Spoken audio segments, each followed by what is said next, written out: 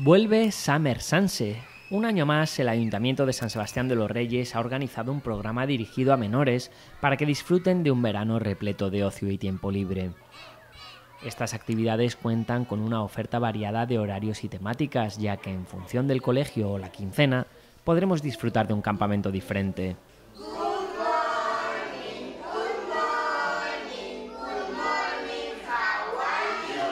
Las familias y los niños interesados pueden elegir entre disfrutar de un campamento musical, otro en el que el inglés es el protagonista de las actividades, un campamento de juegos o un verano con arte donde las manualidades cobran mucha importancia. Son actividades de ocio y tiempo libre, cumplen varias funciones, entre ellas pues las familias que pues eso tienen que ir a trabajar y los niños en, en periodos no lectivos pues es complicado, ¿no? La conciliación en cuanto a familia y trabajo.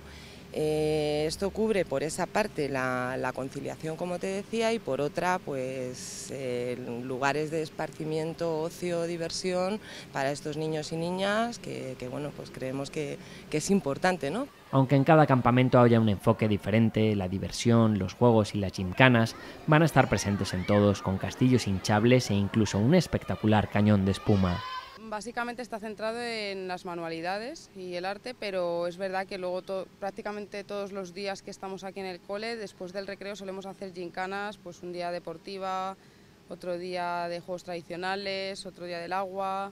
Vamos cambiando para que los niños no solamente estén en las aulas.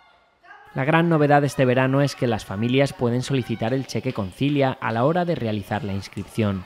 El ayuntamiento quiere asumir el coste de una serie de mejoras que se han introducido en los campamentos. Mejoras pues, en atención a menores con necesidades especiales, en fin, una serie de características que no estaban incluidas y que encarecía el precio del servicio.